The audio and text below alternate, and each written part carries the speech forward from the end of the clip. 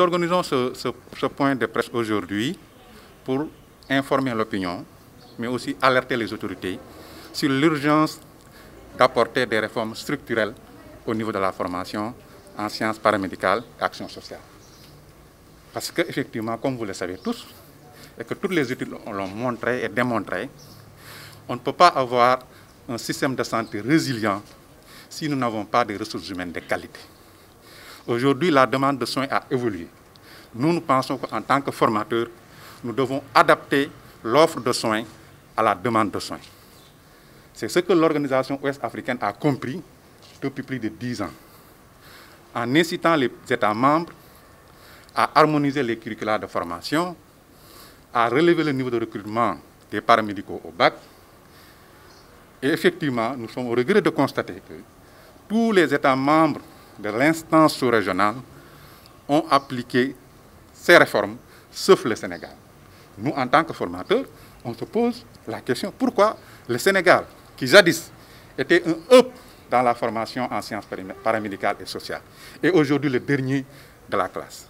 Aujourd'hui, nos établissements ne sont plus attractifs parce que les nationalités, les étrangers qui venaient étudier chez nous, considèrent qu'aujourd'hui, étudier au Sénégal est une perte de temps. Parce que tous les pays sont aux normes communautaires, sauf le Sénégal. Aussi, pour vous dire que depuis 2012, aucun diplôme en soins infirmiers, en soins obstétricaux n'a été délivré.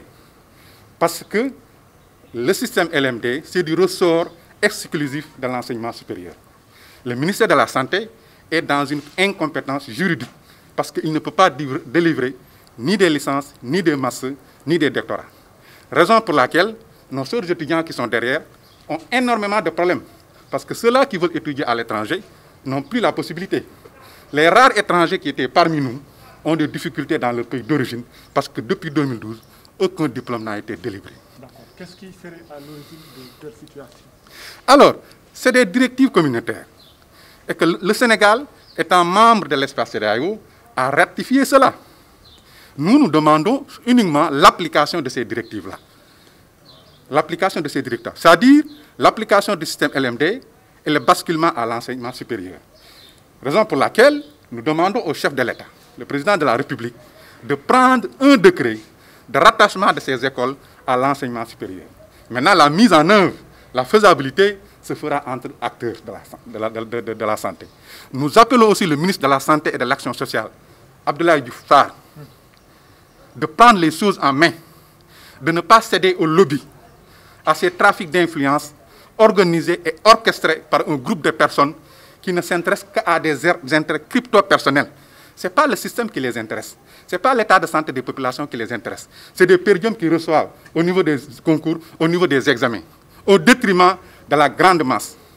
Et nous pensons qu'aujourd'hui, le ministre prendra ses responsabilités et va œuvrer pour que ces écoles de formation en sciences paramédicales puissent basculer à l'enseignement supérieur.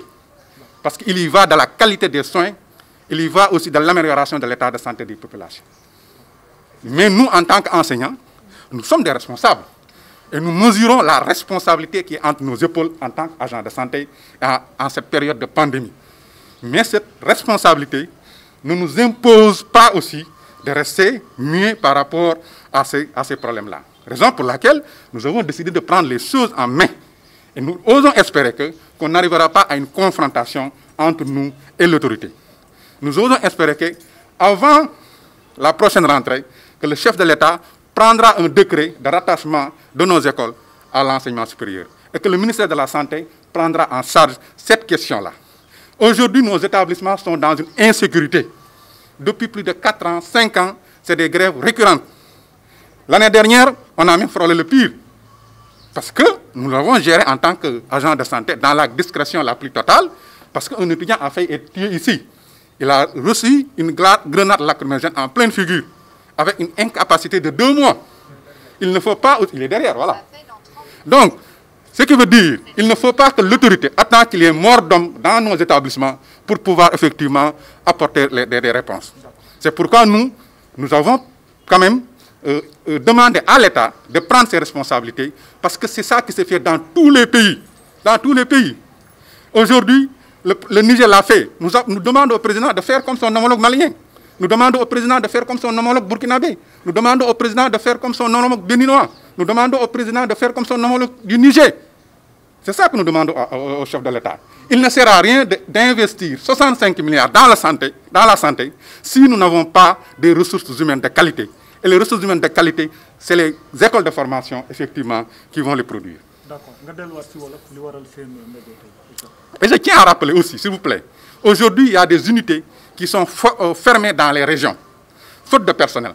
Parce que les filières qui les forment ici sont formées depuis 5 ans, depuis 4 ans. Les, les, les établissements manquent de techniciens radio, manquent de biologistes, manquent de techniciens de néphro, parce que ces filières sont formées du fait de la non-application de ces réformes. Et les populations qui sont à Kédougou, qui sont à Giguinchor, doivent pouvoir bénéficier des mêmes soins que les populations dakaroises. Il ne doit pas y avoir une discrimination dans l'offre de soins.